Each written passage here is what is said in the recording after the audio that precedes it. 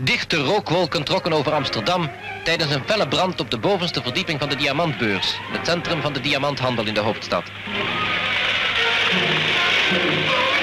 De brandweer, die uit de naastgelegen kazerne met groot materieel kon aantreden, pakte het vuur krachtig aan. Maar ze kon pas goed met haar werk beginnen nadat het ijs in de gracht was opengebroken. Uit twaalf straalpijpen en enkele waterkanonnen werden duizenden liters water in de vlammen gespoten. Pas na drie uur ingespannen werken had men het vuur bedwongen. Toen was de gehele bovenverdieping uitgebrand. De volgende morgen werden de verkoolde, overeind gebleven muurgedeelten door de brandweer gesloopt, omdat er gevaar bestond dat deze zouden instorten.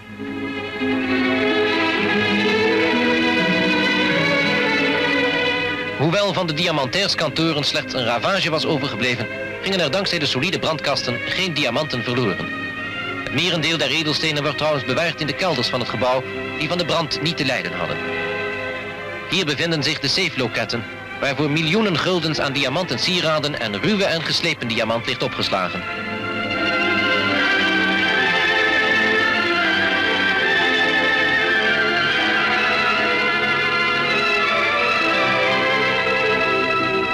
Ten gevolge van waterschade kon de grote beurszaal op de eerste verdieping tijdelijk niet gebruikt worden. Een omstandigheid die de diamanthandel korte tijd stillegde.